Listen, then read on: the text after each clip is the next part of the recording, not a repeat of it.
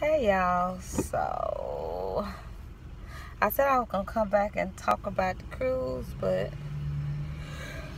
I haven't had any time to really sit still and talk about it. So I just said I'll check in.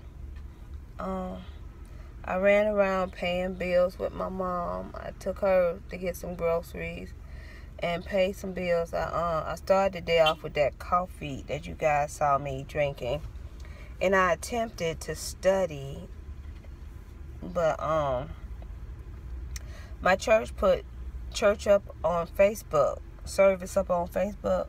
So instead of doing what I was doing the whole week on the cruise, I decided that I wanted to play catch up with church and go ahead and, and do it. And the topic is the third part to the season series, um, Seeing the Glory of God. And so I wanted to hit the cap off. So by the time I'm in Bible study, I know what happened at church. And so I'll be ready for Bible study this evening.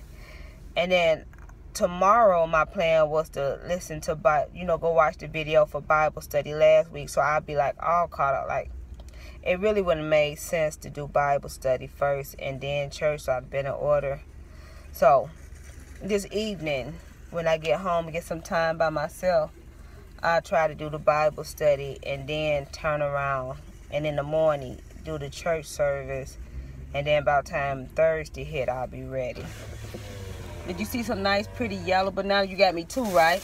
Yeah, two bananas. Get on in with and that. Two chips for 98 cents. Okay, the chips are yours. Let me look at these bananas because I want to get in. I want these bananas for dinner. I sent my son to get me some bananas. He didn't give me none. This is a decent banana. But you see, it still got some green on it. Yeah. But it ain't got that much. I can eat it. Now let's pray that I have crackers at home because my daughter said she didn't eat my crackers. You know what the kind of crackers I eat for my um stuff, right? Yeah, that's fair. That's that come in that box. Yeah. But anyway, so um, I thought that was thing stale. I wasn't able to do my Bible study like I said I was doing. And Your change will be up in here. Stick it in my purse. I got my purse right there. And so I'm kind of thrown off. My day was thrown off because I wasn't able to do Bible study like I wanted to. So, um, then I ran the streets with my mom, like I said, to take her to do some stuff she had to do. Paid some bills and talked to some folks, and I really need to fuss about my insurance. So I'm gonna do that when I'm home because I done start driving and I am in a Walmart parking lot. And you know people do not look where they going in the Walmart parking lot because they think they booties are bumpers, just like the cars have bumpers. And I be wanting to tell these folks, your booty ain't bumper. Yeah, you got the right of way, but you should be safe too, right?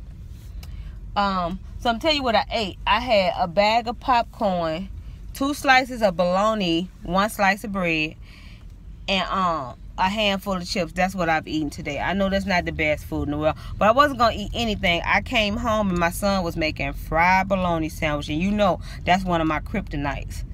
So I grabbed a half of his sandwich with an extra slice of bologna and ate that with the, with a half a bag of popcorn and some Doritos. And when I get home, preferably the crackers would be there, so I have me a cup of coffee, a banana, and cracker peanut butter situation. And then I'll tell you about freaking car insurance and insurance as a whole. How about that? Uh, we're going to discuss my cruise, but that might not come to Wednesday, Thursday. All right, I, I hit y'all in a little bit. Hey y'all, so I got all turned around and wasn't, didn't make it back to finish the second part of the video you just saw, so let me finish it. All I wanted to say is, okay, so I, uh, I didn't think I was gonna have to go out yesterday because I thought yesterday was gonna be my complete stay in the house day and then my, my daughter texted me to let me know that uh, she had track practice. There's no bus to get home from track practice, so I had to go get her. Okay, but the insurance thing. So I got a bill from my insur my car insurance provider, and um, it said that I owe sixteen dollars as of the fourth, which was Sunday, right? Saturday. Anyway, I wasn't in town, and that um ten of the dollars was a late fee, and then um six of the dollars was um other fees. Okay. So I called the lady. I said, okay, I'm, I'm more than willing to pay it. But you know, I paid my whole, I paid my bill for six months. So I don't have a bill due until April 4th. So to get this bill saying I had something due March 4th didn't make no sense to me. And then of that random amount. So I called and I was like, okay, explain my bill. That's, that's what I need to do. I said, I'll pay it after you explain it. And so the lady was like, okay, I got a customer service bill. Because when I first went in there, I told them I didn't have enough money to make the six months payment. It profits me more to pay everything up front. See, that's how rich people stay rich and get over. Is because when you can't pay the whole thing, they charge you dang near double because you can't pay the whole thing, which I think is so freaking unfair. The fact that I can't pay the whole thing at once tells you I need a break, and you're gonna charge me double the finance charges of it all is gonna make it double. I can go into a rant about that all day. We're not gonna do that. So anyway, when I first went in there, my insurance company used to only go by three months or six months. It didn't do month to month. Now it does month to month. The lady told me that when I was in there. I said, okay, we'll go ahead and do it month to month because I was prepared to do it for three months. Not for real prepared, but you know, you got to do what you got to do.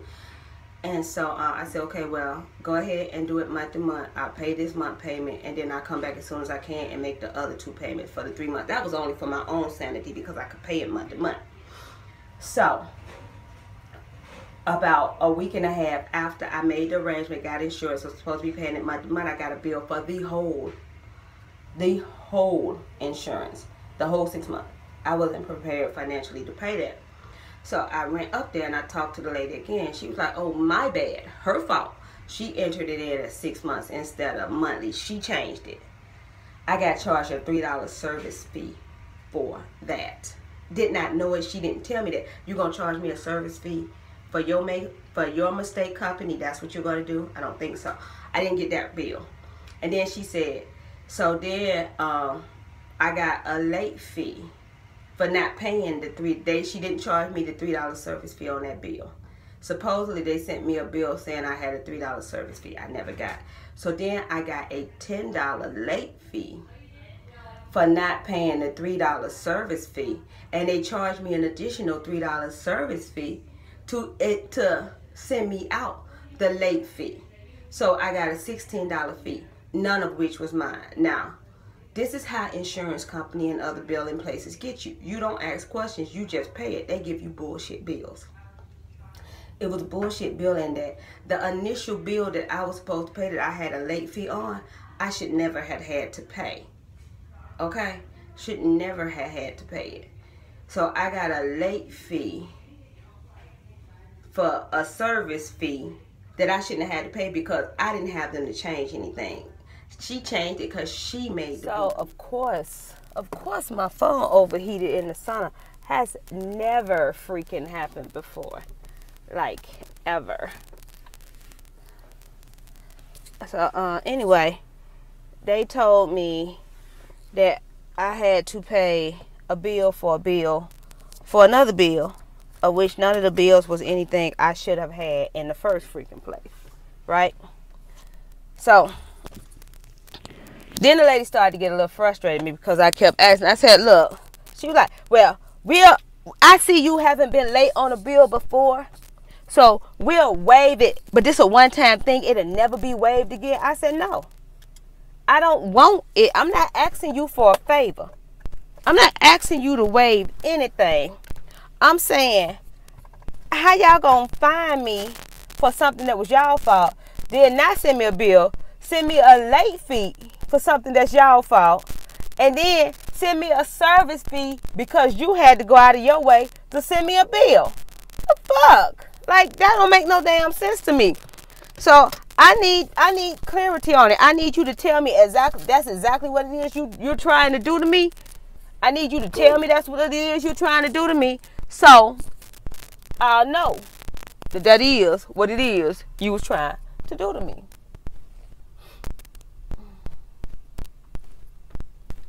And so um the lady then she she she um she gets off the phone, right? And she comes back because she go talk to her supervisor, and she comes back and she's like, "Well, yes, that's what she that's what she said it was, but uh, who did you talk to? Like, who made the initial mistake is what she was trying to find out." I was like, "I don't know, but I could point out. It's only two women and a man in there. It was a woman, but I don't know which one it was until I'm looking at them. I don't remember their name." And so she was like, "Well, give me your number. Let me call you back." So she hung up. Then she called me like right back. Like she didn't even need to hang up as fast as she called me back. And she said, um, well, okay, so this is what happened. So what I just said, she said happened. They charged me a three dollar service fee to fix something that they messed up. And then they didn't send me a bill. They charged me a uh, a ten dollar late fee for the three dollars. And then they charged me another three dollars because they had to go out of their way to send me a bill for thirteen dollars. So if I'm gonna send her a bill for thirteen dollars, hell, I might as well send her a bill for for um sixteen.